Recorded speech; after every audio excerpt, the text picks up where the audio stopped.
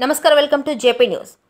Sri Potti Sriramulu Nellore జిల్లా డక్కిలి మండలంలో ఎంఈఓకే వెంకటేశ్వర్లు మాట్లాడుతూ ఈ రోజు అనగా నవంబర్ రెండు నుండి తొమ్మిది పది తరగతులకు క్లాసులు జరుగుతున్నాయని కోవిడ్ దృష్టిలో పెట్టుకొని పిల్లలకు మాస్కులు శానిటైజర్స్ ప్రతి స్టూడెంట్స్కు కరోనా టెస్టులు నిర్వహిస్తామని ఇప్పటికే ఉపాధ్యాయులకు సిబ్బందికి కరోనా టెస్టులు చేశామని నెగిటివ్ వచ్చిన ఉపాధ్యాయులను సిబ్బందిని మాత్రమే స్కూల్ వస్తారని చెప్పారు.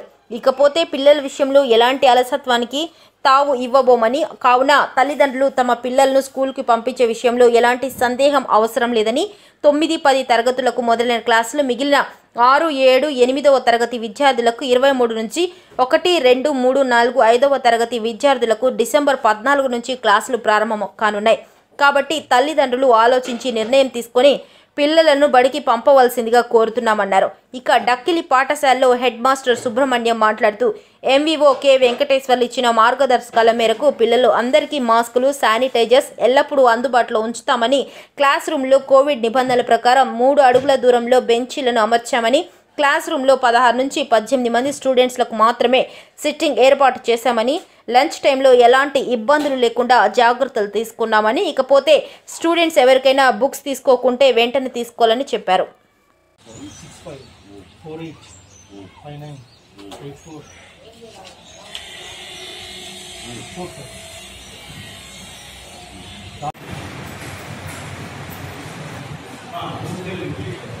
six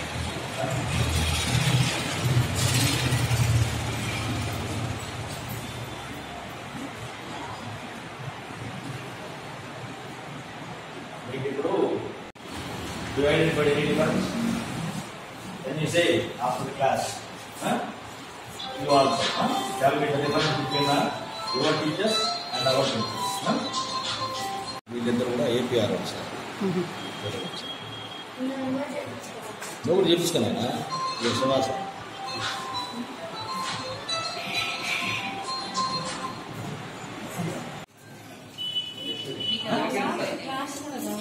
వెళ్ళిపో ఆ పేరు చెప్పు. శ్రీను. ఇంటి పేరు? సిహెచ్ శ్రీనా.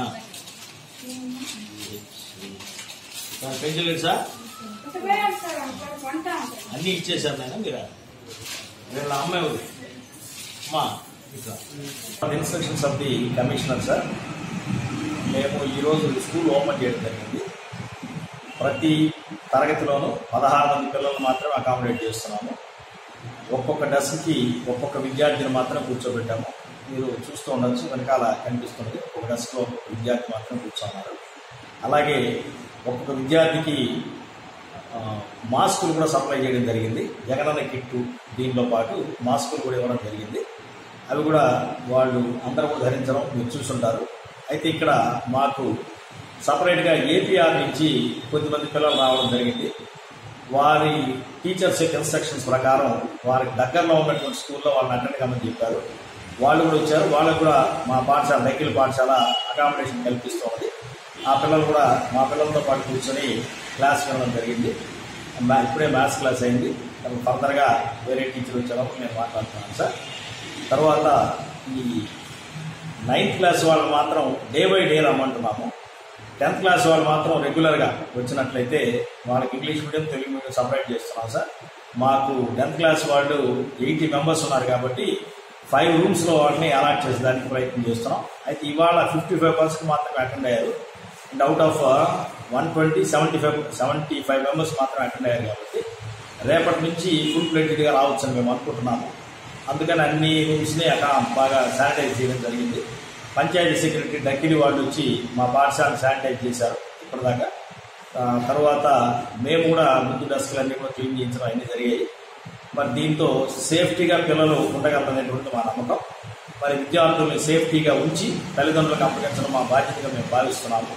కాబట్టి మధ్యాహ్న భోజన సమయంలో కానీ పాఠశాలలో కానీ వాళ్ళు దూర దూరంగా ఉండేట్లుగా సోషల్ డిస్టెన్స్ ఏర్పాటు చేసి భోజన సమయంలో కూడా సోషల్ డిస్టెన్స్ ఏర్పాటు చేసి భోజన సమయంలో మాస్కులు ఉండవు కాబట్టి ఇంకా జాగ్రత్తగా ఉండి వాళ్ళకి ప్రోటీన్ ఫుడ్ ఇచ్చేదానికి ప్రయత్నం చేస్తాం సార్. జగనన్న గోధుమ అనేటువంటి ఆ, ప్రోగ్రాం ద్వారా. తల్లిదండ్రులందరికీ కూడా విజ్ఞప్తి. నవంబర్ రెండవ తేదీ నుంచి అనగా ఈ రోజు నుంచి పాఠశాలలన్నీ కూడా ప్రారంభమవుతున్నాయి. కాబట్టి పేరెంట్స్ అందరూ కూడా పిల్లల్ని పంపించేటప్పుడు మీ ఇంట్లో మాస్క్ను ధరించి మా పాఠశాలకు పంపించాలి. ఒకవేళ మాస్క్ లేకపోయినట్లయితే మా పాఠశాలలో విద్యార్థులు కూడా మాస్కులు ఏర్పాటు చేసినాం ఇప్పుడు మా స్కూల్ అన్ని కూడా శానిటైజర్తో అన్ని శుభ్రం చేసి అన్ని రెడీగా ఉంచున్నాం. కాబట్టి ప్రతి ఒక్క పేరెంట్ దీన్ని ఆలోచించి డెఫినెట్గా పిల్లలందరినీ కూడా అంటే ఈరోజు నైన్త్ క్లాసు టెన్త్ క్లాస్ పిల్లలు మాత్రమే ఈరోజు క్లాసులు జరుగుతాయి. మిగతా ఆ ఇరవై నవంబర్ ఇరవై మూడో తేదీ నుంచి ఆరు ఏడు ఎనిమిది తరగతి పిల్లలకు క్లాసులు జరుగుతాయి. అదేవిధంగా ఆ డిసెంబర్ పద్నాలుగో తేదీ నుంచి ఒకటో క్లాస్ నుంచి ఐదో క్లాస్ వరకు క్లాసులు నిర్వహిస్తారు.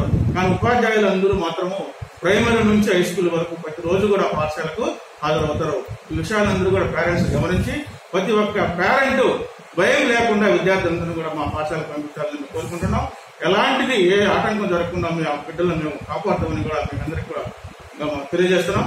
కాబట్టి ప్రతి ఒక్కరు కోవిడ్ నైన్టీన్ నిబంధనల ప్రకారం మా పాఠశాలలో మేము నిర్వహిస్తాం కాబట్టి అందరూ కూడా ధైర్యంతో పిల్లల్ని పాఠశాలకు పంపించగా ఈ మూడు విడతలుగా జరుగుతుంది కాబట్టి మా పాఠశాల స్కూల్ జరుగుతున్నాయి కాబట్టి మీరందరూ గమనించి కోవిడ్ నైన్టీన్ ఒక నియమాలను కూడా పాటిస్తూ మీరు మా పాఠశాలకు పంపించినందుగా ప్రతి ఒక్క పేరెంట్కి మేము తెలియజేస్తున్నాం.